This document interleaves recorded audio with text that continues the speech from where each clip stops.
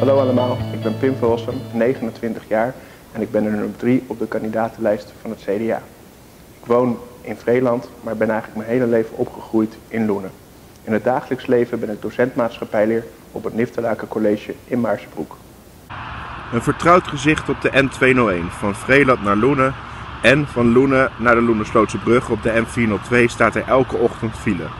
De laatste maanden eigenlijk ook al op de woensdag en op de vrijdag. Elke dag is het raak en nu rond de klok van 8 uur staat er alweer een stevige file. Het CDA wil de doorstroming van de N201 verbeteren en wil actief met provincie en alle andere betrokkenen aan tafel gaan zitten om te kijken of we dit probleem voor eens en altijd kunnen oplossen. We staan hier op het Duiden van Troostelijkplein in Loenen. Een plek waar nu spelende kinderen zijn en waar ouderen naar het kampje lopen vanaf de supermarkten van de Som. Maar in april en mei staat hier de feesttent Loenen. En ik ben daar voorzitter van, van de Oranje Vereniging.